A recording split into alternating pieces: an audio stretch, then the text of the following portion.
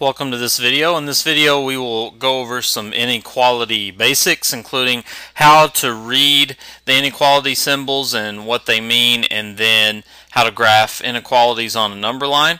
And uh, in the next video uh, we'll make this a two-part series. In the next video we'll actually start looking at solving some basic linear inequalities. So the first thing that we need to look at is this information right here and that is how do we read what which inequality symbol is greater than, which is less than, which is greater than or equal to, and which one is less than or equal to. And many students get this confused. So it's important that we understand all of this uh, right here first before we move forward. And greater than is is this symbol right here. A lot of ways to remember it. Um, the bigger side, so let's say we had uh, the statement x is greater than y, for example. The symbol greater than means that x is bigger than y. x is greater than y. That's if we read it from left to right. And you can remember this in a lot of ways. The greater than side has two points, and the little side, the less than side, only has one point. So you can remember that the bigger side is read greater than and the little side is read less than. You can remember that the greater than side has two points on it.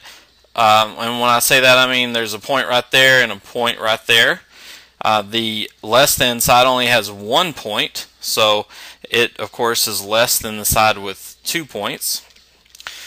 Um, the other way to remember it is that uh, you may have learned this in elementary school. The the alligator this if you view this like an alligator's mouth, the alligator eats the bigger one. However you remember it, it's just important that you keep these symbols straight. And remember that we can read this from left to right, so x is greater than y, and we can also read it from right to left, so that would be y is less than x. Those statements are equivalent because x is greater than y, therefore y is less than x. So the same thing could be true. This is an equivalent statement to say this. Y is less than X.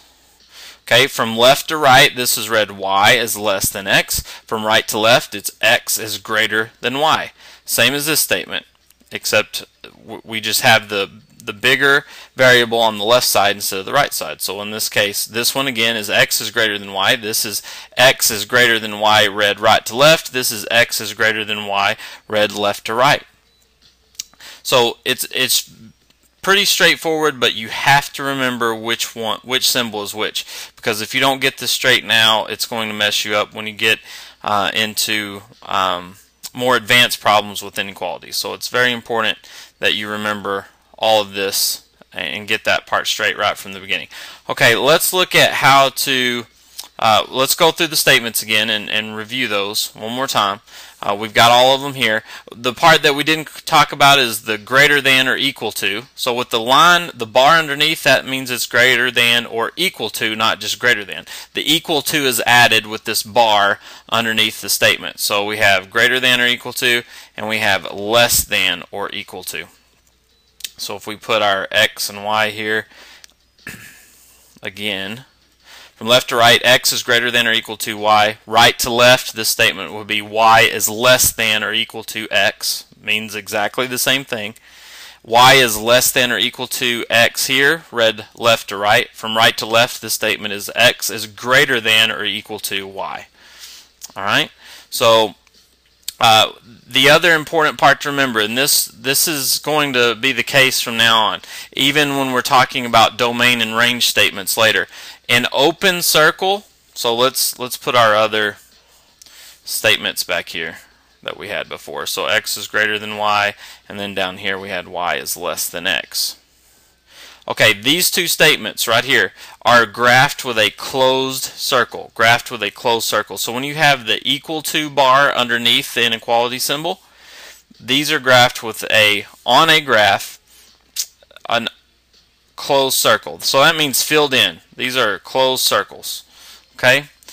these over here, when there's no equal to bar underneath, these are open circles on a graph. So whether you're talking about domain and range or you're talking about graphing an inequality on a number line, an open circle goes with these two symbols and a closed circle goes with these two symbols. Okay, easy enough. So let's look at uh, a couple of examples here. Alright, an example here. We've got x is less than negative 6. How would we graph that on a basic number line? So let's look at how we would do that. So let's put a number line in here. It's not very straight, but that'll work.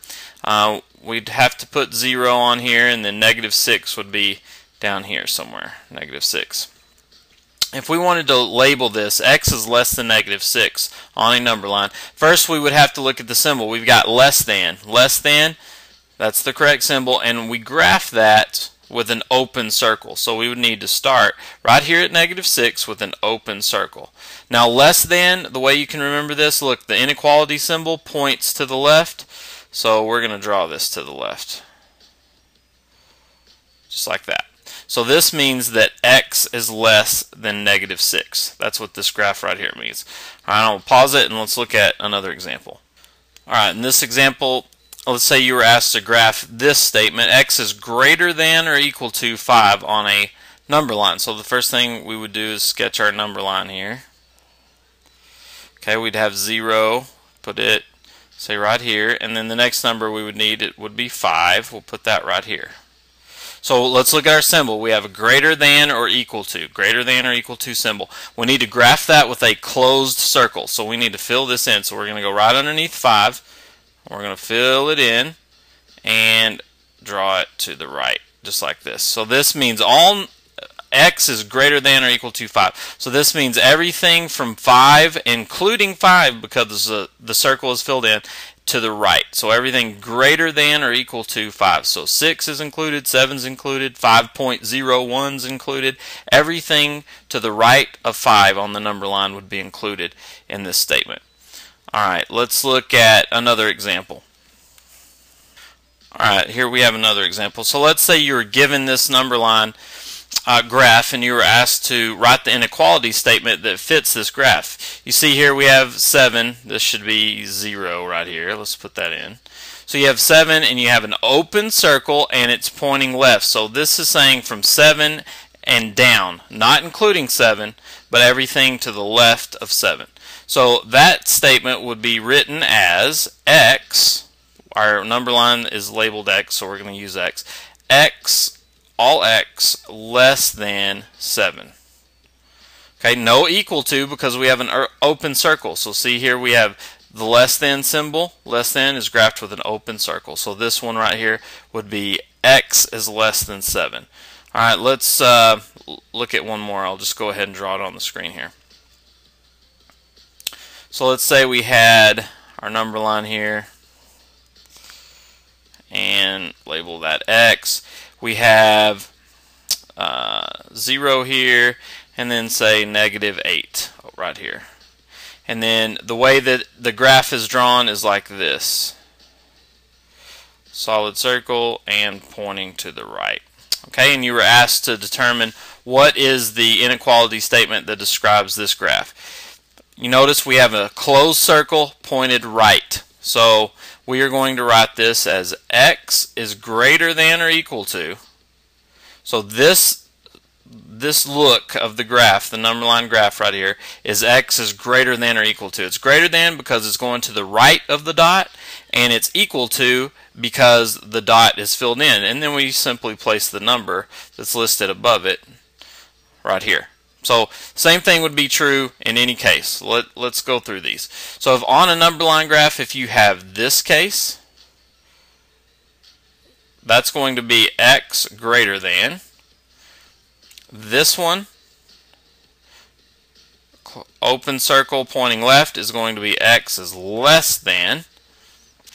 This one, filled in to pointed right, is going to be x is greater than or equal to and this pointing left is going to be x is less than or equal to.